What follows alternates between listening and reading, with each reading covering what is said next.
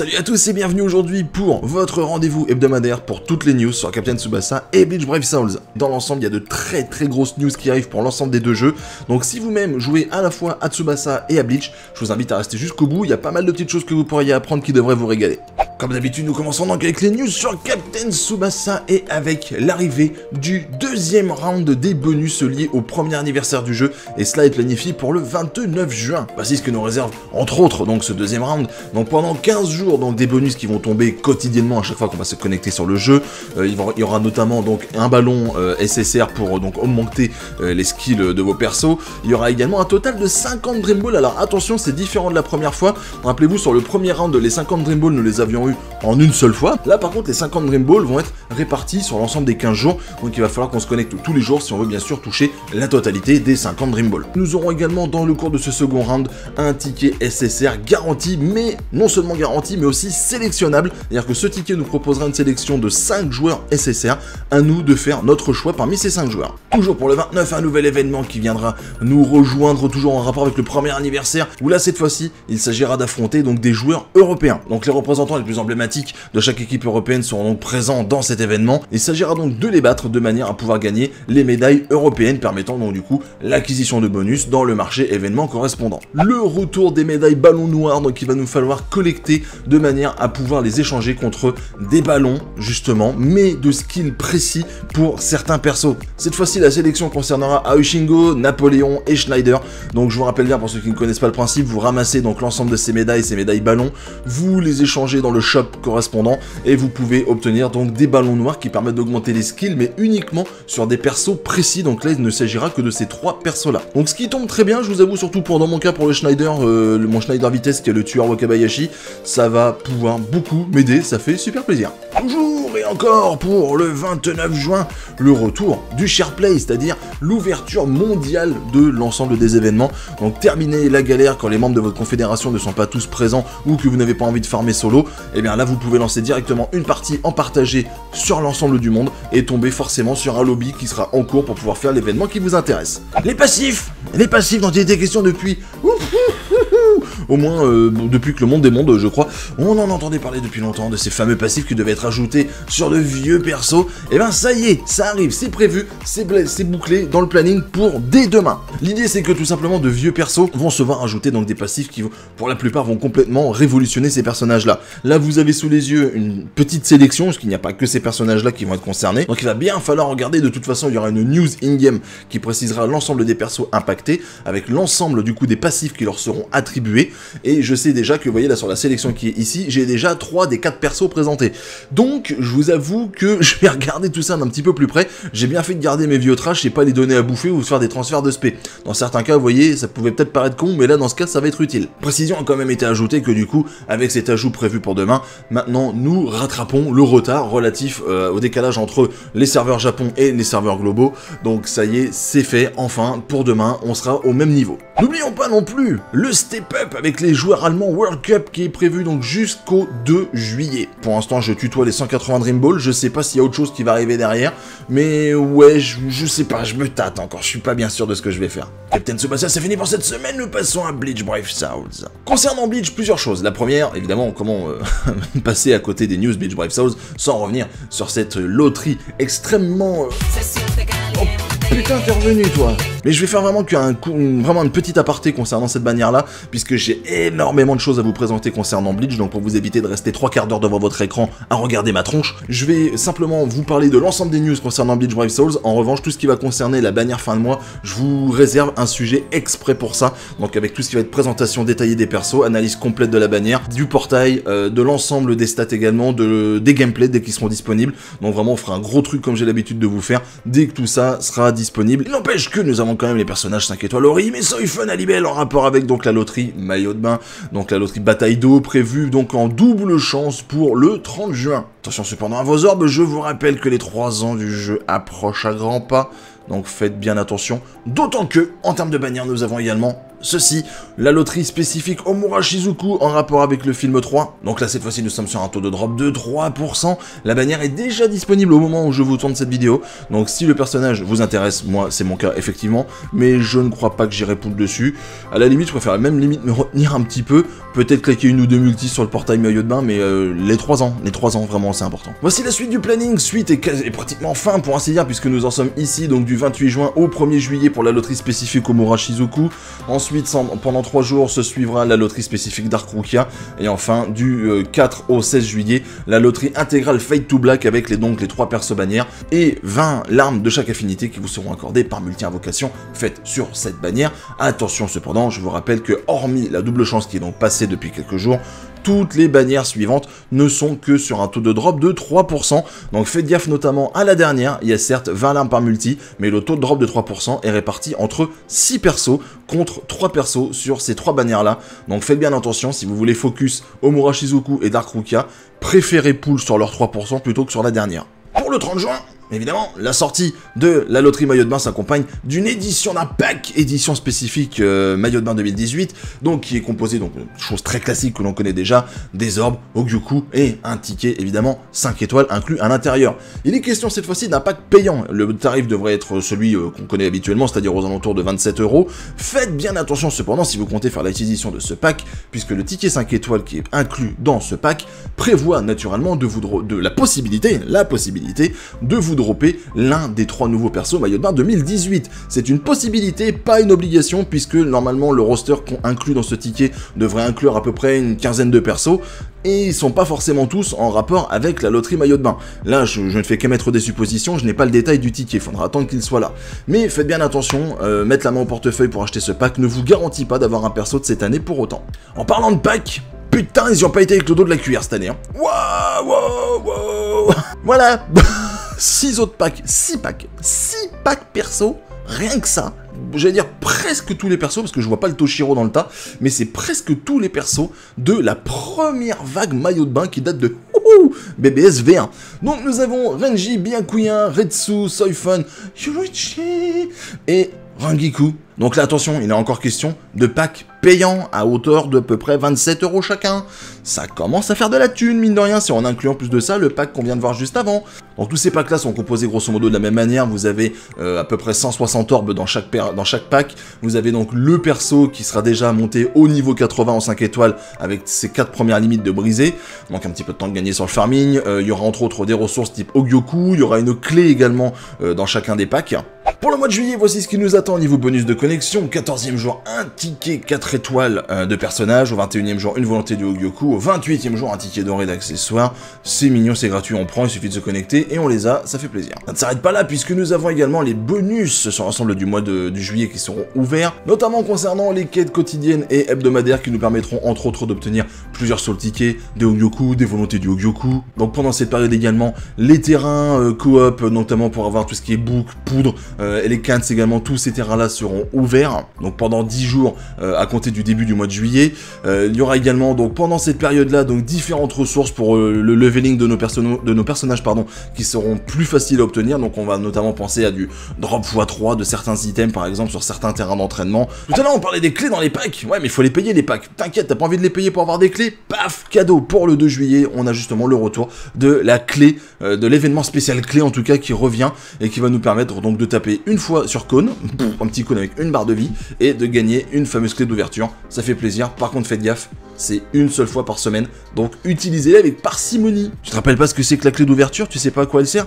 Bah c'est tout bête. Bah quand t'as un personnage en 6 étoiles, t'as besoin de farmer des persos de raid pour pouvoir ouvrir les emplacements de son arbre de compétences. Et ben au lieu de farmer les persos, tu prends une clé, pouf, et ça t'ouvre l'emplacement. C'est simple. Évidemment, évidemment, comment parler de la loterie maillot de bain sans parler d'un événement qui l'accompagne, ça va de soi prévu pour le 30 juin, cauchemar d'été et bataille d'eau. Oh, événement qui nous permettra d'obtenir une Alibel 4 étoiles. On en a quand même pas souvent des espadons 4 étoiles. Hein. Il s'agit d'un événement à points. Oui, mais attention, pas n'importe quel genre d'événement à points. Celui-là, il est goldé de chez Goldé.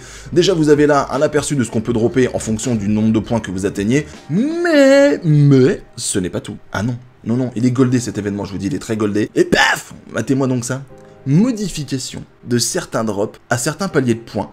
Je vous l'explique. Nous avons le Extra Point Reward qui nous sera possible d'obtenir tout par tranche de 100 000 points une fois qu'on aura atteint le dernier point. Vous avez vu tout à l'heure, le dernier bonus était à 600 000 points. C'est-à-dire que jusque là, vous voyez, ça c'est avant, 600 000 points, vous aviez l'item qui était prévu dans le cadre de l'événement, donc là il s'agit d'un pinceau de réécriture, et au-delà, que dalle. Maintenant, comment ça va se passer? Bah, À 600 000 points, ça se passe comme avant, on chope l'item qui est prévu dans le cadre de l'événement, donc là, dans le cas présent, un pinceau de réécriture, à 700 000 points, on gagne quoi? Ah bah ça continue, on gagne un ticket Brave Soul, nickel, 800 000, un autre ticket Brave Soul, et ainsi de suite, sans aucune limite.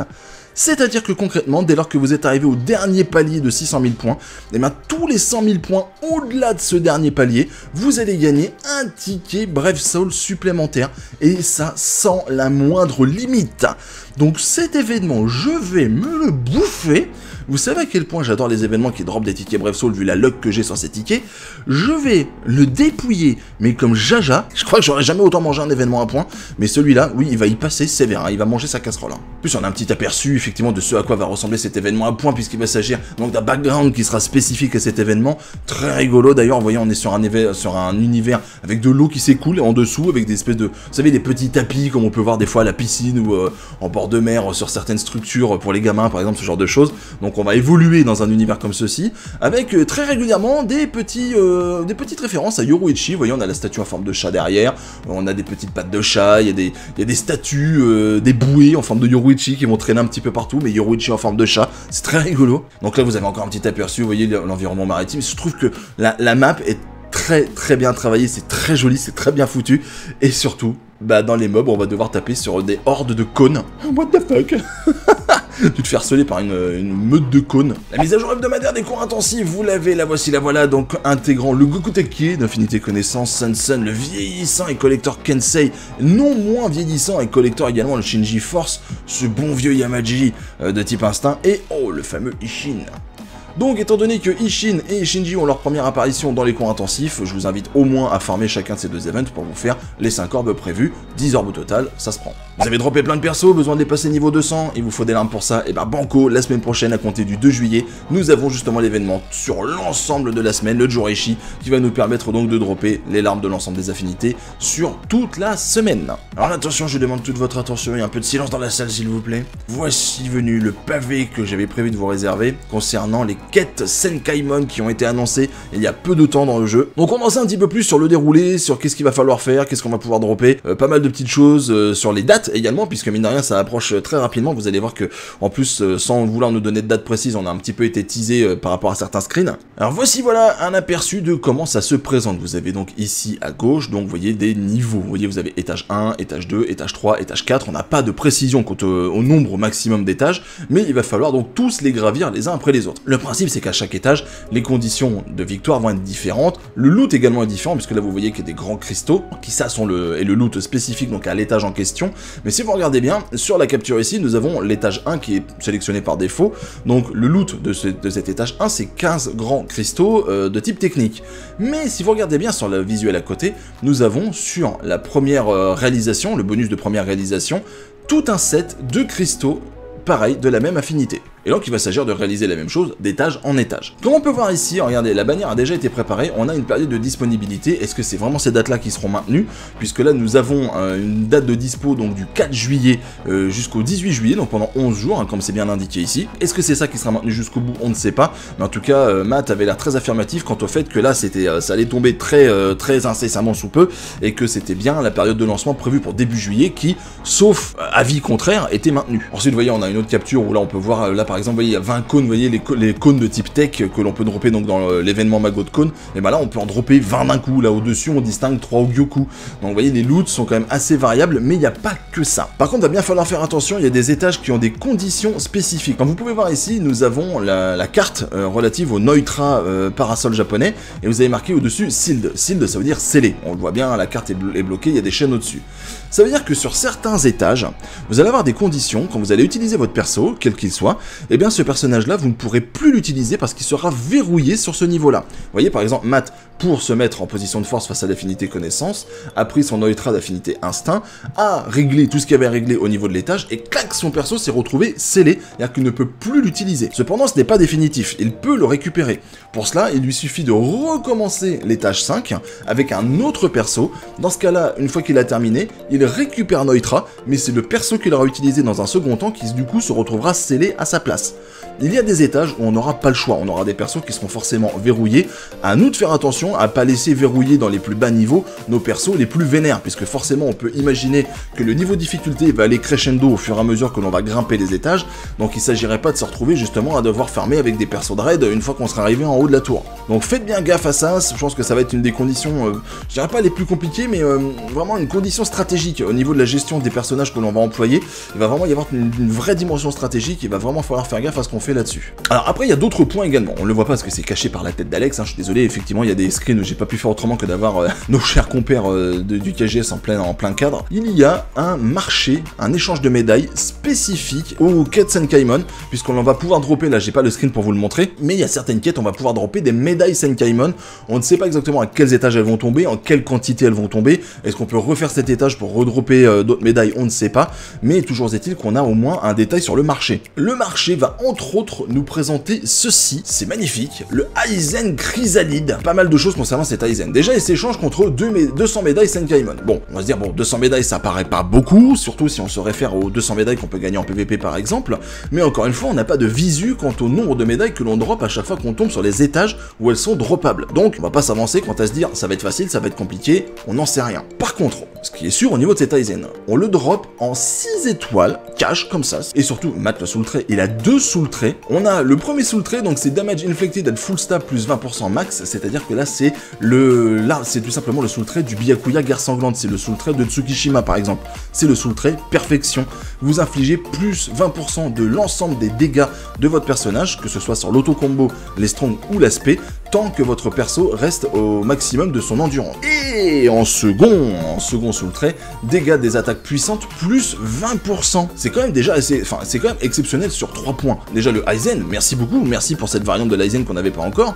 Et ensuite, le fait qu'on le drop en 6 étoiles, là vous le voyez en affinité instinct et connaissance, mais sachez que ce perso est droppable dans toutes les affinités. Et en plus de ça, il a deux soul traits qui en plus de ça sont à leur max, parce que du strong damage plus 20%, habituellement on a ça sur des persos réguliers, on n'a pas ça sur des persos d'échange de médailles. Donc là, ça peut peut-être déjà nous donner un aperçu euh, de la difficulté de l'event ou éventuellement de la difficulté à dropper ses médailles. Et en plus de ça, l'autre soul trait, enfin voilà quoi. Certes, il est très situationnel parce qu'il va nécessiter qu'on reste full vie, mais ça peut être excellent. Mais ça ne s'arrête pas là, mais non Parce qu'à côté de l'onglet caractère, nous avons du matériel d'éveil également, et là qui, entre autres, moyennant 80 médailles, va nous permettre d'obtenir 10 potions arc-en-ciel. Encore une fois, ça paraît bien pour peu de médailles, il va falloir voir comment les médailles elles tombent. Dans l'onglet accessoires, oh, le pinceau de réécriture affûté pour 150 médailles. Commence à causer là aussi. Le pinceau de réécriture affûté, pour ceux qui ne savent pas, fonctionne comme un pinceau de réécriture classique, c'est-à-dire que vous allez pouvoir redéfinir la deuxième ligne d'un objet 5 étoiles qui ne vous plaît pas, sauf que la version affûtée que vous avez sous les yeux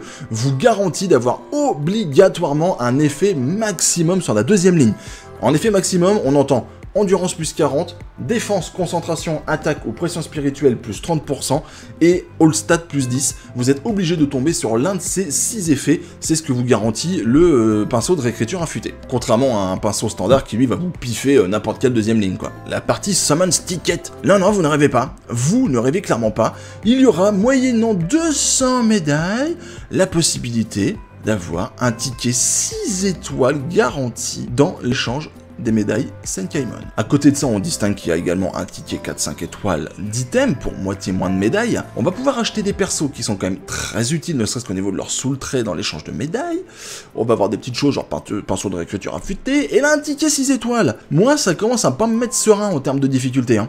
Parce que le ticket 6 étoiles, ils vont pas te le lâcher comme ça. Il faut 200 médailles. 200 médailles, ça paraît vraiment très très peu. Donc c'est soit les médailles, elles vont tomber très très doucement, soit les niveaux où elles seront droppables il va y avoir une difficulté complètement ouf. Donc je sais pas à quelle sauce on va être cuisiné sur, ce, sur cet événement-là. On va pas se mentir, hein, les tickets 6 étoiles, ils vont pas les lâcher comme ça. hein. Donc il va forcément y avoir une, une carotte, une contrepartie quelque part. Il va vraiment falloir faire gaffe à ce qui va tomber. Mais je pense que ça risque de piquer sur certains étages. Passons à la suite Donc pour le 5 juillet, un événement spécifique Anime Expo 2018 et Japan Expo. Donc qui nous permettra d'obtenir des petits bonus. Notamment, on va commencer par le Mega Mago de Kone. Donc il va nous permettre de battre simplement Kone une petite fois. Et on va dropper plein de petites choses intéressantes, notamment des grands cristaux d'XP ainsi que des cœurs de renforcement qui vont jusqu'à 4 étoiles. Donc c'est le moment, en plus c'est hyper easy à faire comme quête. Vous allez avec vos persos farming, c'est gagné pour vous. Ensuite, nous avons le retour de la Horde, de la Horde coop. Là, ça va pas rigoler non plus, c'est très marrant la Horde coop, pour ceux qui ne connaissent pas. C'est en fin de compte, on est lâché dans différentes rooms où on est assailli de petits ennemis, de petits, mais après des très gros, qui font vraiment la taille de la tour Eiffel. C'est très marrant, les ennemis sont clairement pas résistants, ça tank que dalle, ça fait pas de dégâts. C'est très fun à jouer, surtout en coop, et ça permet de gagner du petit loot qui sont quand même pas dégueulasses, des cœurs de renforcement 3 et 4 étoiles, euh, des tickets d'accessoires et autres, donc c'est quand même pas vilain, et on peut vraiment s'amuser. C'est un événement qui est très très fun à faire, je vous invite à le tester si jamais vous ne connaissez pas. Ensuite, nous avons le retour d'un événement qu'on a vu qu'une seule fois, et ça pour ceux qui viennent d'arriver, je pense que vous allez en chier, mais il va falloir s'accrocher. C'est en fin de compte un événement où on va croiser un super Ichigo. C'est-à-dire que concrètement, on va se battre contre un seul, il y a une seule room, on se bat contre un seul et unique boss. Mais alors le boss, mon gars, il ne déconne clairement pas. Il a une très très très haute endurance et il tank vraiment très très fort, euh, beaucoup plus que certains boss qu'on va croiser dans des événements déjà assez tendax de base, type euh, espace de transmission ou extrême coop, là ça n'a rien à voir. Le personnage est immunisé à tous les killer effects, on ne peut pas altérer son statut, donc il ne peut pas être gelé, empoisonné, enflammé, paralysé et autres, et on ne peut pas le tuer instantanément, donc oubliez effectivement euh, le, spam de vos spé à l'aide de, de, vo de, votre Aizen forme finale, de votre Retsu, de votre Kuraku commandant, non, ça ne marche pas. Il va falloir le battre à la réglo, avec vos auto-combos, avec vos skills classiques, et avec vos spé dès qu'elles vous pourrez les caler, donc ça va demander de la coordination, et croyez-moi qu'aller lui taper dessus à 4, c'est pas mal, surtout si on veut respecter le chrono. Bon, en soi, on a 3 minutes pour le battre, mais je vous rassure, c'est largement faisable, mais vous allez vite vous rendre compte qu'il va falloir lui taper dessus très fort, et pendant un petit moment avant qu'il se décide à tomber. En attendant, on a quand même des petits drops très sympathiques. Il y a un ordre spécifique, euh, donc une récompense d'ordre par rapport à cet événement qui nous permettra de gagner 25 orbes, et également peut peut-être tomber pinceau de réécriture et Ogyoku. La dernière fois que cet événement est tombé, euh, les drops euh, pinceau et Ogyoku étaient quand même pas folichon folichon. Je sais pas si ce sera toujours le cas, mais je me rappelle que c'était pas la folie. Bon voilà, c'est terminé pour cette semaine. Bon du coup, effectivement, la vidéo est quand même bien plus longue que d'habitude, mais il y avait beaucoup plus de choses à dire. Et encore, rappelez-vous que j'ai gardé le sujet euh, étude après approfondie de la bannière maillot de bain pour un autre sujet, justement une autre vidéo séparée euh, que je pourrais très certainement soit vous tourner cet après-midi, soit demain, mais euh, évidemment qu'elle soit dispo avant que vous ayez déjà la bannière disponible dans le jeu. N'hésitez pas à y aller de votre petit commentaire, justement, soit sous la vidéo Facebook, Twitter ou Discord par rapport à tout ce que vous avez vu et entendu dans ces informations. Merci à vous tous de les avoir suivis, je vous souhaite de passer une excellente journée, portez-vous bien et je vous dis à très bientôt. Des bisous, ciao